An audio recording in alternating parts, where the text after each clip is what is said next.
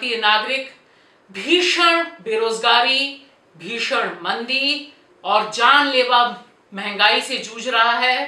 तबाह हो रही है ज़िंदगी। वहीं दूसरी तरफ़ हमें दिखाई दे रहा है कि कोरोना की मार जानलेवा होती जा रही है। सुरसा के मुँह की तरह बढ़ते ही जा रहे हैं आंकड़े।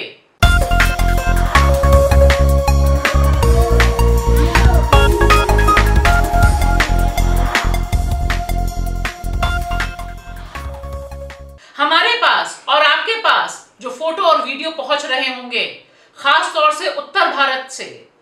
चाहे वो बिहार हो, उत्तर प्रदेश हो, मध्य प्रदेश हो, राजस्थान हो, गुजरात, महाराष्ट्र, वे सब दिल दहलाने वाले हैं। अभी हाल में ही प्रधानमंत्री के संसदीय क्षेत्र से बनारस में जो बीएचयू में मेडिकल कॉलेज से जो फ़ोटो आ रही हैं, जो वीडियो मरीज़ और मरीज़ के परिजन डाल रहे हैं, वे एक बात बिल्कुल साफ़ कर दे रहे हैं कि कोरोना का संकट जो देश में चल रहा है, इससे निपटने के लिए, चाहे वो मोदी सरकार हो या राज्य सरकारें, उन्होंने कुछ नहीं किया। जो पब्लिक हेल्थ सर्विसेज़ पे उन्हें खर्च करना चाहिए था, जो बुनियादी चीज़ें मुहैया करानी चाहिए थी, वे कुछ नहीं हुई हैं। और इसकी जवाबदेही निश्चित तौर पर केंद्र से लेकर राज्य सरकारों तक बनती है। एक अहम सिग्नेचर कैंपेन हस्ताक्षर अभियान चल रहा है, जिस पर ध्यान देना बेहद ज़रूरी है। कम से कम उन लोगों के लिए ध्यान देना बेहद ज़रूरी है, जो देश से प्रेम करते हैं, देशवासियों से प्रेम करते हैं। यह सिग्नेचर कैंपेन चल रहा है अरविंद केजरीवाल के नाम, दिल्ली के मुख्यमंत्री के नाम। और यहाँ अपील की जा रही है कि फरवरी में जिस तरह से दिल्ली को जलाया गया, जिस सांप्रदायिक हिंसा में दिल्ली को झोंका गया, इसकी जाँच जो दिल्ली पुलिस स्पेशल सेल और बाकी टीम कर रही है सीधे सीधे अमित शाह गृह मंत्री के कमान के अंदर वह सही नहीं है। यह पत्र लिखा गया है अरविंद केजरीवाल से। यह अपील करते हुए कि एक इंडिपेंडेंट जाँच बैठाई जाए तुरंत, क्योंकि अभी तक जो जाँच दिखाई दे रही है, जिस तरह से चीज़ें सामने आ रही हैं, उससे एक बात बहुत साफ़ हो रही है कि दिल्ली पुलिस जिस तरह से लोगों की गिरफ्तारियाँ कर रही है जिस तरह से उसने अभी तक पूरी की पूरी चार्जशीट को तैयार किया है, इसमें सीधा का सीधा जो लिंक वो बना रही है, वो बना रही है कि जो लोग मारे गए, जिन इलाकों में हिंसा हुई, वे खुद ही अपने मारे जाने, अपने घरों को जलाए जाने के दोषी थे। इस पत्र पर आप खुद आपको स्क्रीन पे अभी दिखाई दे रहा होगा, इस पत्र में बहुत सीधी सीधी सी बात कही गई है। यहाँ मैं आपसे इस बात का ज़िक्र करना चाहूँगी कि पिछले दिनों दिल्ली पुलिस ने जो एक प्रेस कॉन्फ्रेंस की, जिसमें उसने अपना डेटा रिलीज़ किया, उसके हिसाब से अब तक दिल्ली जो जलाई गई, जिसमें पचपन से अधिक लोग मारे गए थे, उस संदर्भ में उसने बताया कि 750 मामले दर्ज किए हैं और 1300 लोगों को गिरफ़्तार किया है। यहाँ पर हम उनकी लंबी चौड़ी लिस्ट नहीं दे रहे हैं। हम बात कर रहे हैं सिर्फ़ इस सिग्नेचर कैंपेन की, जिसमें तमाम लोग साइन कर रहे हैं। तमाम लोग अपील कर रहे हैं और इस पत्र का एक बहुत मज़बूत आधार उन्होंने बनाया है। इन्होंने आधार बनाया है दिल्ली माइनॉरिटी कमीशन। दिल्ली अल्पसंख्यक आयोग ने जो अभी रिपोर्ट तैयार की है, इस आगजनी, इस सांप्रदायिक हिंसा दिल्ली को जलाने की साजिश पर उनका कहना है कि इस रिपोर्ट को दिल्ली सरकार को स्वीकार करना चाहिए। उनकी जो सिफारिशें हैं, उनके जो अपने कमीशन की जो सिफारिशें हैं उसे मानना चाहिए और देखना चाहिए कि किस तरह से जो पीड़ित लोग हैं, उन्हीं को दोषी बनाकर जेल के अंदर डाला जा रहा है। और यह सब देश की राजधानी दिल्ली में हो रहा है। सीधी कमान अमित शाह के पास है और इसमें यह पत्र इसलिए भी प्रासंगिक हो उठता है कि पिछले लंबे समय से हम दिल्ली में देख रहे हैं कि एक के बाद एक जिस तरह से गिरफ्तारियाँ हुई, उन गिरफ्तारियों में वे चेहरे ज़्यादा थे जो नागरिकता संशोधन कानून के खिलाफ जो अभियान चला था, जो आंदोलन चला था, उसके बहुत प्रोमिनेंट फेस थे, बहुत प्रमुख चेहरे थे। चाहे वो सफूरा जरगर हो, जिन्हें बहुत मुश्किल से भी बेल मिली, या इस तरह की तमाम लंबी फहरिस्त लिस्ट है, जिसके कुछ नाम आपको इस समय स्क्रीन पर दिखाई दे रहे होंगे। सवाल यह है कि ये जो पत्र लिखा गया है, इस पर सही ढंग की चर्चा होनी बेहद ज़रूरी है। दिल्ली दंगों और दिल्ली दंगों से संबंधित जो जाँच चल रही है, वह किस तरह से चल रही है, किस तरह से लोगों को डराया, धमकाया जा रहा है, जाँच की जा रही है, इसका ताज़ा तरीन उदाहरण आया है वरिष्ठ पत्रकार राधिका राम सेशन के द्वारा। उनसे हमने बात की, उन्होंने वही चीज़ बताई जो उन्होंने सोशल मीडिया पर अपनी शेयर भी की थी। उन्होंने बताया कि 22 जुलाई को उनके पास एक फ़ोन आता है। फ़ोन पर जो व्यक्ति है, वह पूछता है कि आप 27 फरवरी को क्या करावल नगर में थी? यहाँ से राधिका कहती हैं, जी, वहाँ मैं थी। फिर पूछा जाता है, क्या कर रही थी वहाँ पर आप? उन्होंने कहा, मैं कवरेज के लिए गई थी। फिर उनसे पूछते, वो पूछती हैं, फ़ोन करने वाले व्यक्ति से, आप यह क्यों जानना चाहते हैं? उन्होंने कहा, कि हमें लगा कि आप किसी समूह का हिस्सा हैं। ध्यान से सुनिए उन्होंने कहा, आप किसी समूह का हिस्सा है। फिर उन्होंने पूछा कि आपको हमारा नंबर कैसे मिला? उन्होंने कहा, डंप डाटा से मिला। यह डंप डेटा यानी वहाँ का जो मोबाइल टावर होगा, वहाँ पे जो लोग जिस फ़ोन को ऑपरेट कर रहे होंगे, वो सारा का सारा डेटा उन कंपनियों ने, मोबाइल कंपनियों ने जाँच एजेंसियों को सौंप दिया होगा बिना हमसे और आपसे पूछे हुए, बिना पत्रकारों से पूछे हुए। और इसके बाद वह पूछती हैं कि आखिर आप क्या जानना चाहते हैं? तो उन्होंने कहा कि हम कोशिश कर रहे हैं, हम ट्रैक करना चाह रहे हैं कुछ अपराधियों को। और देखिए, यह फ़ोन उनके पास आता है पाँच महीने बाद।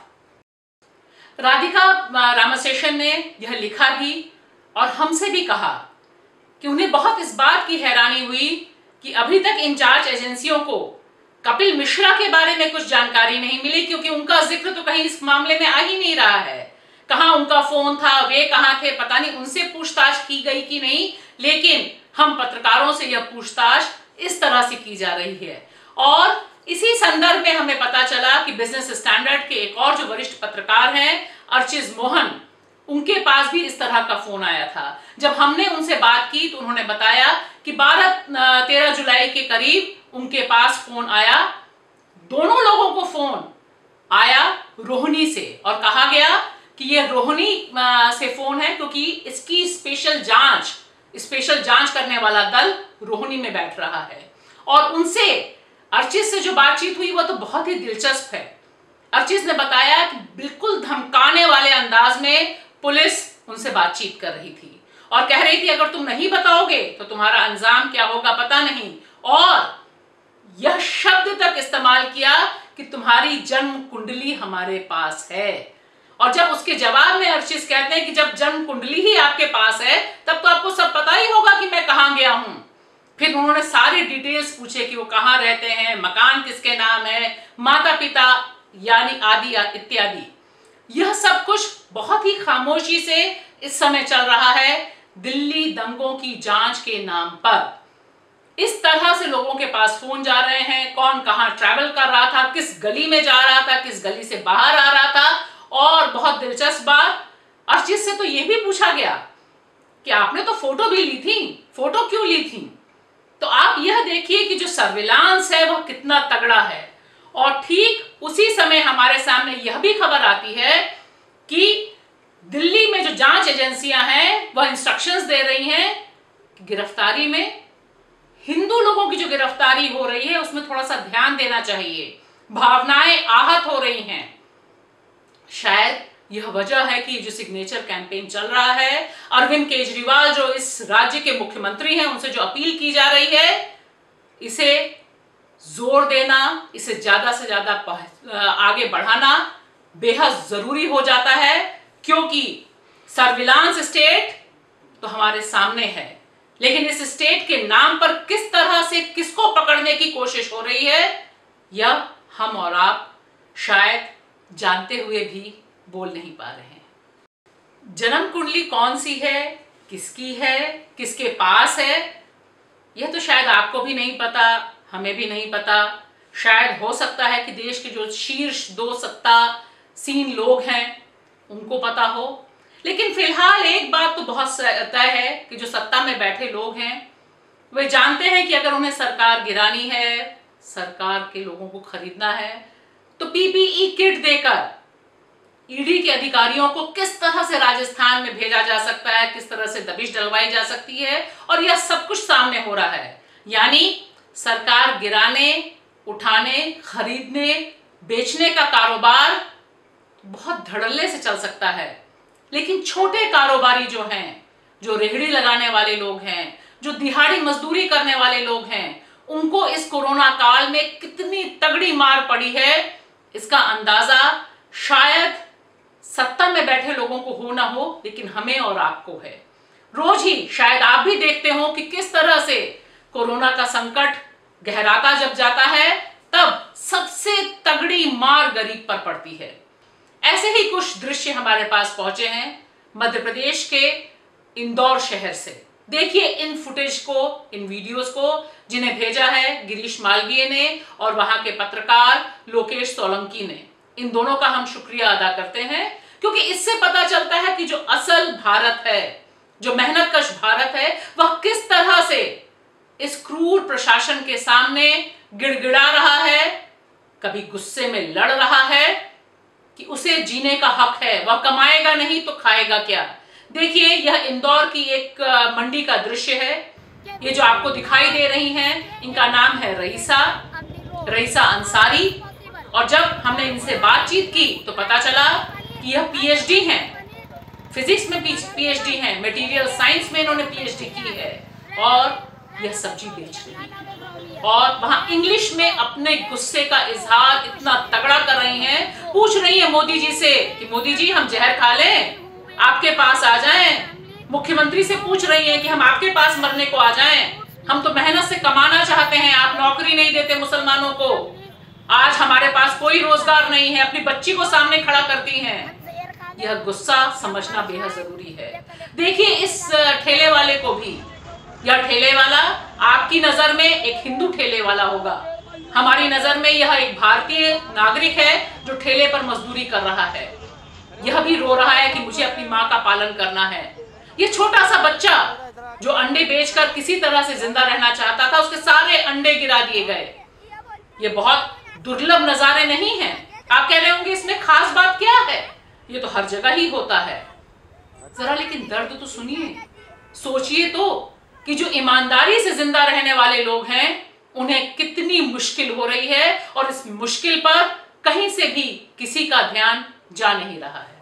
दोस्तों, असली भारत के जो सच्चे सवाल हैं, भारतीय नागरिकों का जो दुख दर्द है, वे हम आपके सामने, आपके साथ वैसे ही शेयर करना चाहते हैं जैसे हम अभी तक करते आए हैं।